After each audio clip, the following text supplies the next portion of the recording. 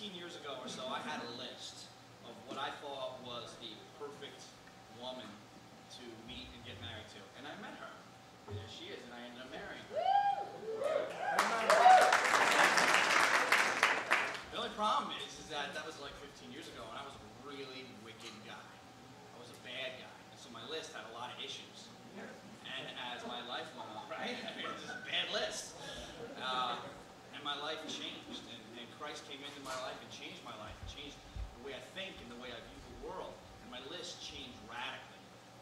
So the bad news is that the perfect girl that fit the horrible list is now my wife.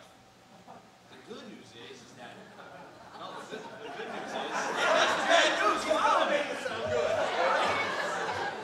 The good news is, is that as I walked with the Lord, she walked with the Lord, and as my list changed, she kept in step with the list.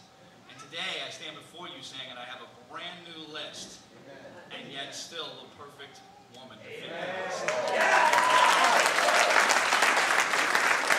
And that's what God can do. Uh, so I don't know, is there, that's a pause period. I got no line. Is there a line? Is there a line?